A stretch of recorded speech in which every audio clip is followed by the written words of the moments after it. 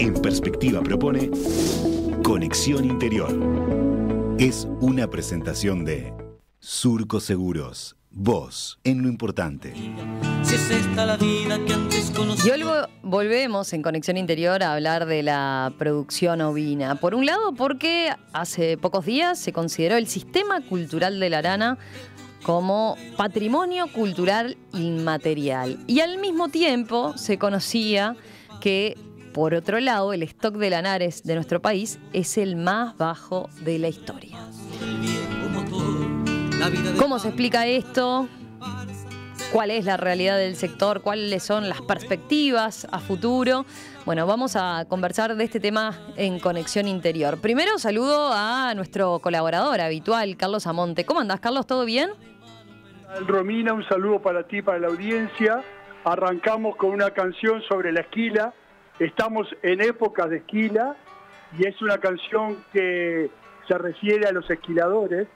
Estamos en épocas de parición de ovinos, está la corderada mamando y cualquier tormenta o cualquier lluvia puede afectar la mortandad de los corderos.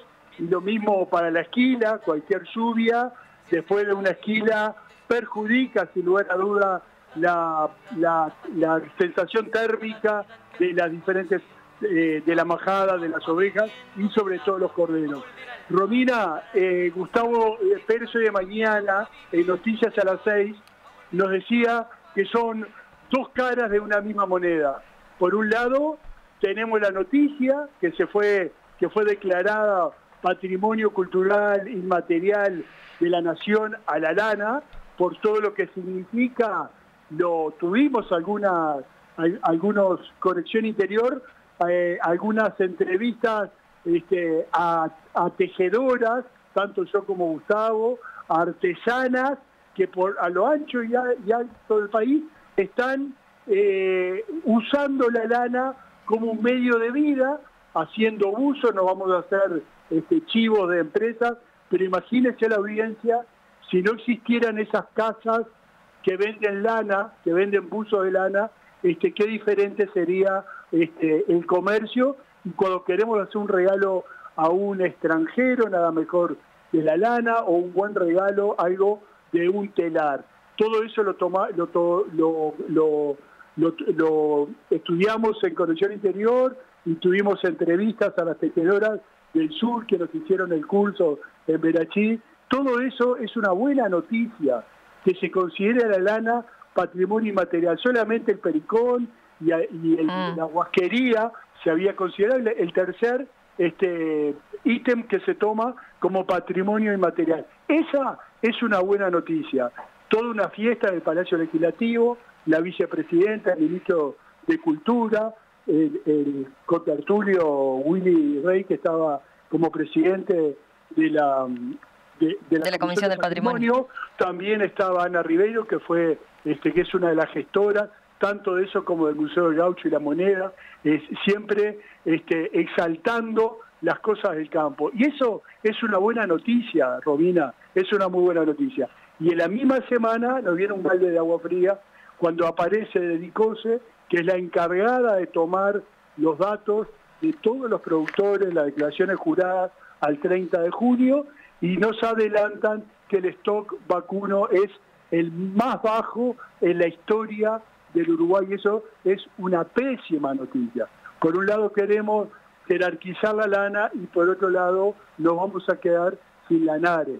Esa, esa es, son las dos caras de la misma moneda. Y dentro de los 5 millones y poco de lanares que hay, este, bajaron en el departamento que es más productor de lana del Uruguay, que es alto, bajaron 50.000 lanares, que es un disparate, porque es menos mano de obra, porque es menos, de obra, eh, menos mano de obra familiar, es un producto que es eh, fuente de proteína para la gente del campo y nunca entendí por qué no es fuente de proteína para la gente de Montevideo, el Canelones y Maldonado, sin ser el cordero, todo lo demás sería una excelente fuente de proteína para este, abaratar la canasta familiar, para la, canasta, para la cocina de, cualquier familia, abaratarlo con carne de oveja. Pero eso es un gran debe que tiene el país.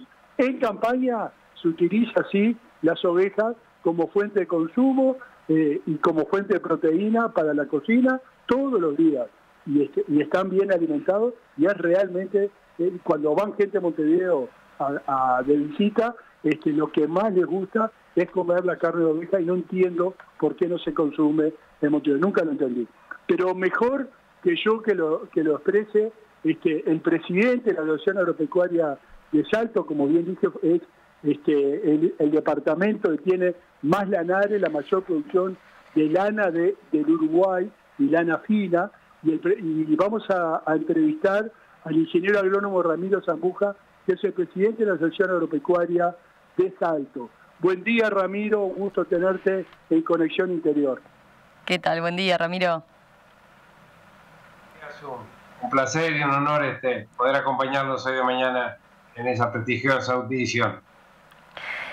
¿Cómo, cómo toma las dos noticias, este un poco este, este resumen que, hacía Carlos, ¿no? Por un lado, esta, esta parte positiva de, reconocer lo que es para como, como legado eh, justamente cultural eh, y lo que implica la, producción lanera eh, y, el trabajo con la lana, y por otro lado, esta situación ¿no? del, sector que, parece tan desafiante por el hecho de, bueno, que, que va en caída, y, no solo en caída, sino con, con los menores, con, con, el menor stock de, de, la historia del país. Sí, la verdad que este, la sensación es, es bastante contradictoria, pero yo apostaría que, bueno, este, tenemos a nivel de gobierno, a nivel de los distintos organismos que, tienen que ver con el ganar, eh, apostar a, revalorizarlo, como muy bien este, decía en la introducción Carlos, este, la información que nosotros manejamos es que en enseñanza primaria, en la dieta de los niños de las escuelas no se está incluyendo la carne ovina, otro tanto en hospitales públicos, y me animo a decir tampoco a los centros de detención. Es algo que es muy difícil de entender, este, como también tú decías muy bien, Carlos, es una carne de muy buena calidad, este, con muy buena aceptación por parte del público cuando, cuando la prueba y tenemos que revitalizar eso. Obviamente en esta zona, por tradición de alguna manera y por lo que este, estábamos acostumbrados a, a valorizar la lana fina, este, se hay mayoritariamente el merino es lo que más se, presenta acá en esta última expo salto que terminó en el día de ayer. Vimos una muy buena demostración de, la calidad y la genética que tiene la majada merino en Uruguay. El jurado de Australia que estuvo este, me hizo los mejores comentarios, así que me parece que como tantas cosas en la vida, cuando uno llega a un punto este, muy bajo, hay que tratar de apostar a, que esto aumente y mejore. Mm.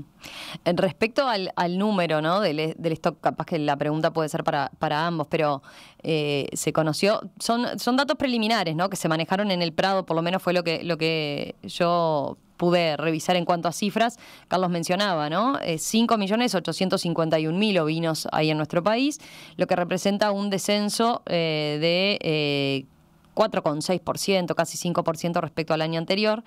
Em, y, ahí una de las explicaciones que, mencionaban las autoridades podía tener que ver con una repercusión de, lo que fue la sequía que vivimos en nuestro país a comienzos de 2023, ¿verdad?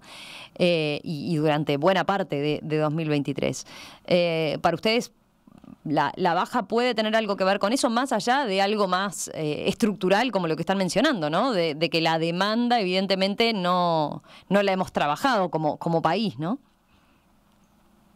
Yo me animaría a comentar que justamente no sería tanto un tema de seca, sino un tema de baja de precios en la lana ya hace unos cuantos años que los precios, este, y a veces no solo eso, sino la imposibilidad de comercializar el producto, eh, produce un, desbalance muy grande en lo que son las empresas y específicamente en este DICOSE, lo he conversado con, con colegas productores de, que son este, que manejan majadas grandes, el eh, golpe que tuvimos con esas lluvias muy importantes en el mes de abril y mayo de este año produjeron grandes cantidades de mortandad lo que las categorías nuevas, este, y específicamente el lanar medino, como muy bien sabrá, sabrá Carlos y, otros oyentes, es bastante delicado lo que tiene que ver con, con excesos de humedad y eso produjo específicamente mortandades que en el caso del eh, Dicose llegaron a ser del doble o un poco más en muchos establecimientos y eso pienso que debe haber afectado.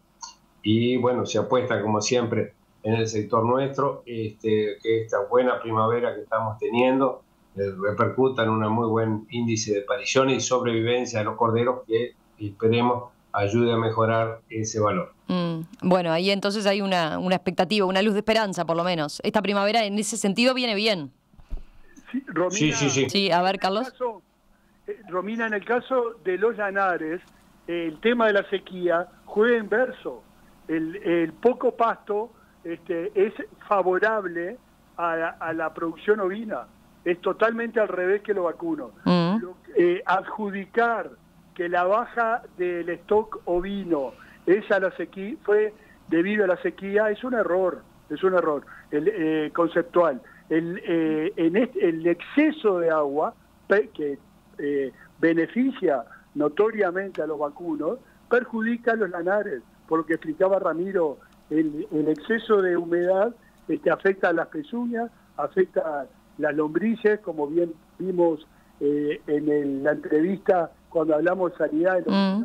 este, todo eso lleva a grandes mortandades, como recién expresó este Ramiro. Lo que está pasando con la disminución de stock es el desestímulo que tienen los productores ovejeros para seguir produciendo. Cuando no tenés un buen precio de la carne y, la carne es eh, muy safral, o sea que cuando los frigoríficos faenan, este, es en un periodo muy corto y ahí tenés que tener eh, los corderos y las ovejas prontas con un condimento que no se puede pasar de kilos porque no te lo aceptan si son demasiado gordos. Es al revés de lo que pasa en los vacunos. Y el precio de la lana, como existe ahora, que no te pasan precios tú esquilaste, tenés la lana en el galpón y las barracas compradoras de lana, que cada vez son menos, no te pasan precio.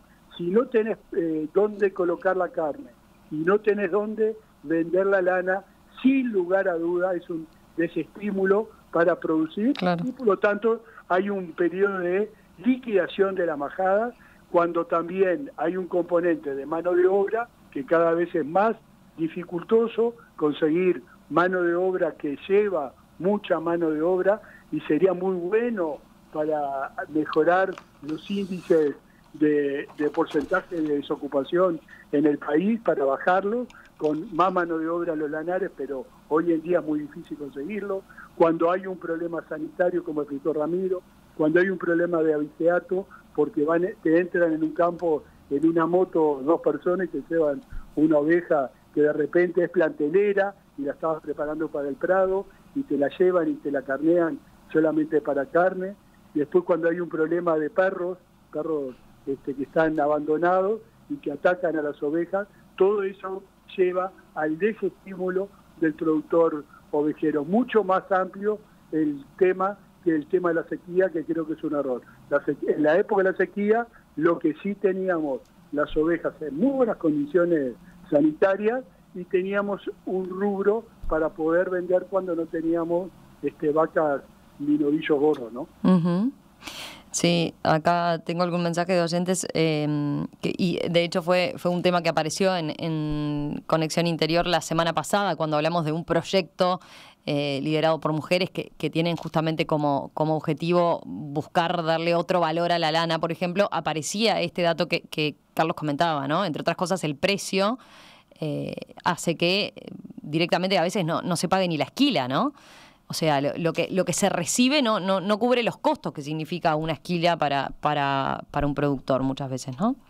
El, Ramiro recién hablaba de merino, que es lana fina, que eh, hay un nicho en el mundo para producir prendas de alto este, de alto valor agregado y, este para un nicho de, gente de poder adquisitivo muy bueno este, eso es, eh, eso hay un nicho en el mundo. Y, pero después están las, lanas negras de las ovejas criollas, de oveja negra, lo cual para la artesanía es espectacular. La lana gruesa hoy no tiene mercado y los productores lo, la tienen que esquilar la oveja y, y tienen tres, cuatro zafras acumuladas en un galpón sin poder venderla, sin precio.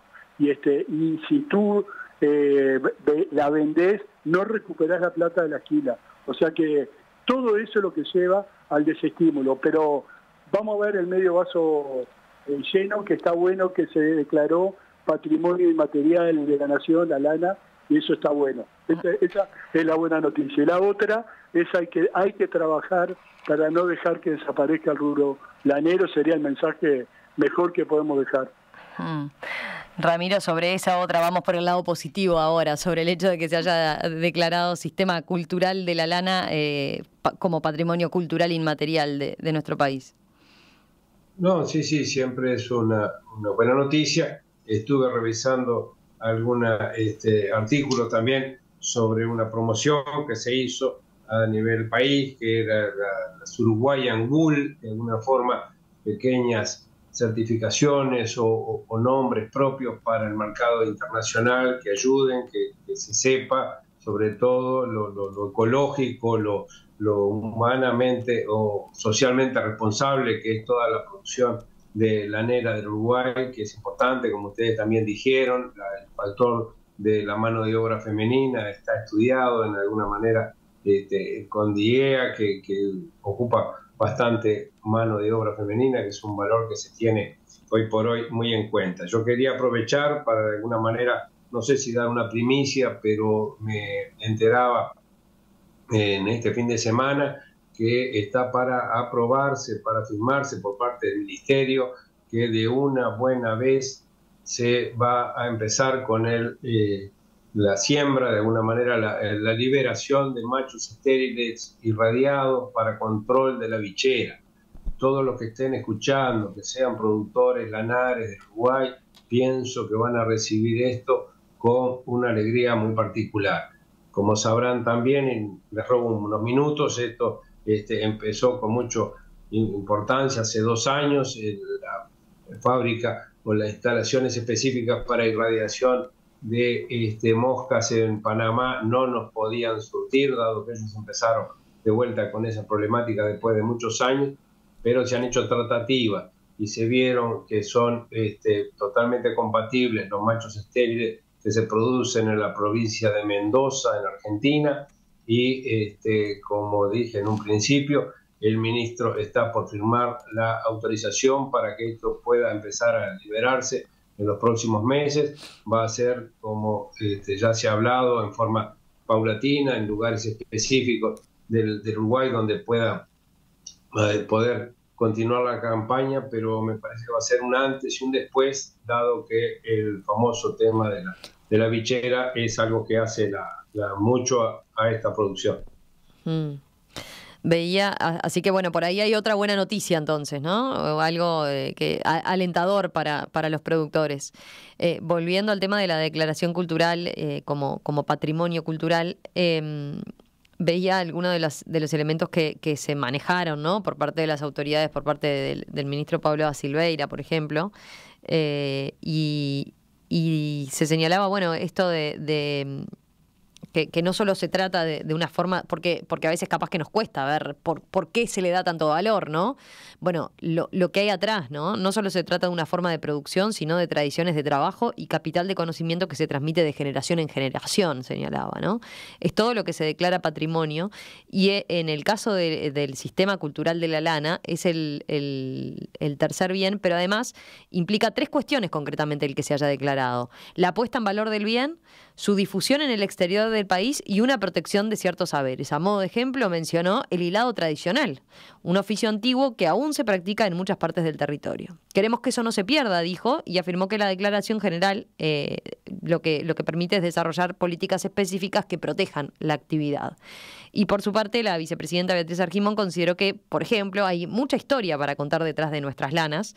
Eh, el, refer, dijo que el referido sistema cultural no solo abarca saberes, sino también historias de vida, cuidado del medio ambiente, respeto a los animales e historias vinculadas a la producción. eh, y lo, lo, reivindicó como un verdadero acto de justicia, ¿no? Carlos, Ramiro, no sé si querían agregar algo más de, eso, ¿no? Pasa, Romina, es un estilo de vida. El, tipo que es ovejero, este, nació ovejero, este, no, se, no se forma de un día para el otro. Este, eso lleva mucho, mucho, mucho tiempo este, conseguir o, lograr que alguien le guste la oveja, se enamore de la oveja, viva de la oveja y sepa producir lana y producir cordero. Es como el lechero, para que la gente quizá lo, pueda visualizar más fácil, el que nace del productor lechero que nace, eh, forma una familia de productores lecheros y que después, si se deja una generación, se pierde y ahí empezamos con el problema de que es una actividad que no es fácil recuperar si tú este, perdiste a la gente que se enamoró de las ovejas, está enamorada de las ovejas y del trabajo por los ovinos.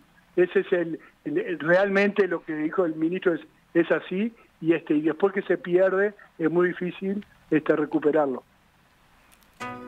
¿Qué es un seguro? Es para tus cosas. Si les pasa algo, te pagan. ¿Quién te paga? Surco Seguros. ¿Y qué cosas? La casa, el auto. ¿Quién más asegura en Surco? Los vecinos, sus cultivos del campo. ¿Y vos, Agüe? Seguro de vida desde mucho antes que vos nacieras. Se siguen sumando generaciones que confían. Cumplimos 30 años cumpliendo. Surco Seguros. Vos en lo importante. Tengo un par de mensajes por lo menos para, compartir con ustedes de los oyentes. Dice, dice Álvaro, en los ovinos de carne la lana ni siquiera paga la esquila y la carne la compran como y al precio que quieren los frigoríficos. Y señala, las últimas esquilas regalé directamente la lana. Después, eh, Jorge apunta, el problema son los frigoríficos. Hace año INAC, señala, presentó el churrasco vino una forma diferente de fraccionar y comercializar el cordero en las carnicerías. Nunca se concretó dicha propuesta. ¿Por qué? Pregunta. ¿Tienen respuesta alguno de los dos? ¿O entienden que por ahí podría estar parte de la solución? Sí, sí, seguramente. Este, bueno, como siempre, las historias son largas y tienen muchos componentes, desde el costo que tiene la, la faena del ovino por animales, comparación con el vacuno, lo hace importante. Después, a veces en las carnicerías, eh, los responsables dicen que el mercadeo este, se les hace también un poco trabado. No hay costumbre, pienso que es un hecho cultural, como ustedes decían, específicamente la lana.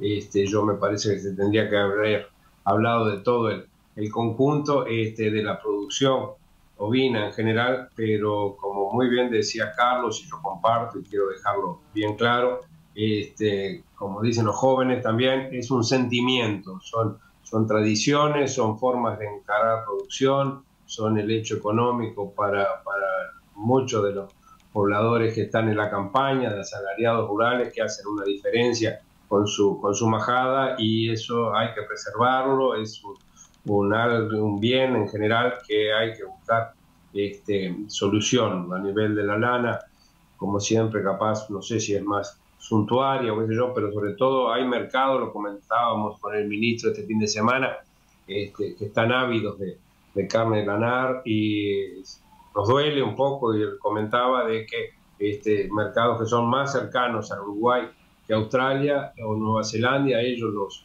tienen mejores convenios de, tratados de libre comercio de, o, de comercio favorable y esto pienso que es un debe que tiene que tener el, que tiene, que tiene que cumplir el Uruguay, abrir nuevos mercados y poder este, mejorar en un todo la, producción y salida de esta mercadería.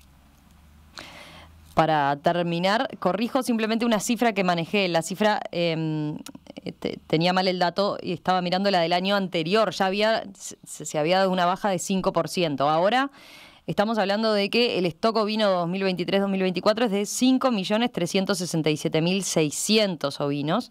O sea, en relación a eh, el año anterior, estamos hablando de casi 9,5% menos. ¿eh? Así, ahí queda aclarada la cifra, ¿no? sanitario que contaba Ramiro, que del, del otoño pasado que llovieron en dos tres días 150 milímetros y eso es mortal para las ovejas. Pero Romina, lo más grave, capaz esos 500 mil más o menos, no es, no es grave. Lo que es grave es que llegamos a tener 20 millones, 24 millones de, de lanares. Eso es lo grave y hoy tenemos 5 millones. Esa diferencia es lo que, es grave y sigue en picada, eh, como dicen los estadísticos, tendiendo a desaparecer. Eso es lo más grave. Que eso sí es una luz roja que tiene que tomar este, sin duda el gobierno y es una política de Estado de no dejar desaparecer un rubro que, con, que hay que agregar algo más, que con muy poco capital tú podés empezar un negocio este, de campo, sobre todo para los pensando en los jóvenes, ¿no? Que con muy poco capital y ovejas que dan de repente mellizos y hasta trillizos eh, pueden crecer rápidamente. Es una lástima que se pierda eso cuando fue declarado Patrimonio Cultural y Material de la Nación. Eh, tengo más mensajes, pero en todo caso retomamos eh, en cualquier momento este tema porque por lo visto le interesa, le interesa a los oyentes. Así que Ramiro Azambuja, presidente de la Asociación Agropecuaria de Salto, gracias, eh, gracias por acompañarnos esta, esta mañana y, y por, por permitirnos abordar entonces este tema y hacer esta puesta a punto del sector. Por favor, un gusto para mí. Este, estamos a la orden para cualquier otra intervención. Carlos, un abrazo para vos también y nos reencontramos dentro de 15 días, ¿te parece? Si Dios quiere, dentro de 15 días, tratando de hacer no puentes entre el campo y la ciudad. Chau, chau. Conexión Interior. Es una presentación de Surco Seguros. Vos en lo importante.